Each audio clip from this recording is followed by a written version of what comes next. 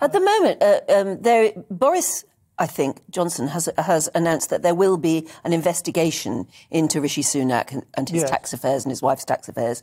Um, but there are some newspapers suggesting this morning that that's sort of being pushed into the long grass.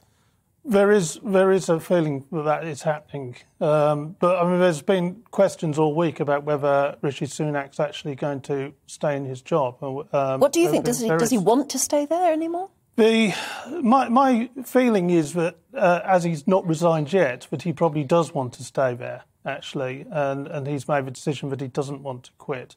Uh, I think it probably got quite close last week, uh, with uh, well, certainly with a fine, which I think in his case, he felt was very unfair because he had literally walked into a room expecting a meeting and was presented with cake.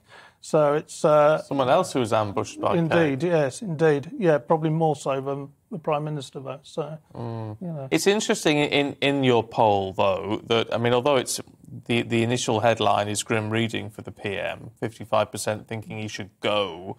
But if, it, if this is being, how, how do we read it if it's then as it seems to be, drawn pretty much on political lines. It is, very much so. I mean, as, as we were saying, only one in ten Conservative voters actually think he should Which go. suggests he's absolutely yeah, safe. Exactly. Well, exactly. yeah, for now, but I wonder how that how does that play but in that, terms of... I, I, I, think that would be even more so with the membership of the party, and uh, because that's Conservative voters. With a membership, he's still very popular amongst the grassroots. Okay, uh, uh, why? well, I, I, think because he's a, a, charismatic leader, he he can he has still has cut through in areas like the kind of Labour red wall, former Labour red wall areas.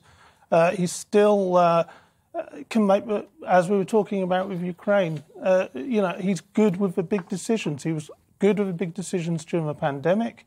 He was good with the big decisions over uh, over Ukraine, and and of course, you know, for Conservative voters, because most of them are now Brexiteers and Leavers, you know, he got, in their view, he got Brexit right. Mm.